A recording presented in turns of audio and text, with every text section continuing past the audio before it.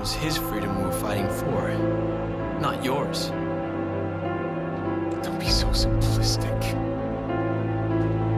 Humans are frail. They're like children. They need protection. Not just from others, but from themselves. We, you and I, have saved them.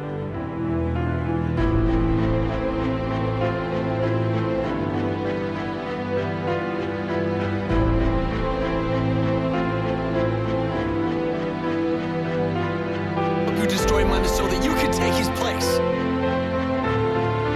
I can't let you do this, Vergil. I can't let you stop me, brother. Stand aside.